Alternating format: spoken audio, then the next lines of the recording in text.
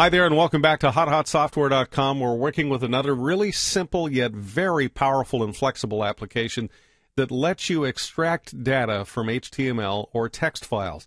Now, I pulled one of my text files in here. I know this is a script I have with some people's names in it, and I'm going to look for uh, the occurrences of J and P. I know there are lines in my text file that have that. But here's where the real power is you can include, you can exclude.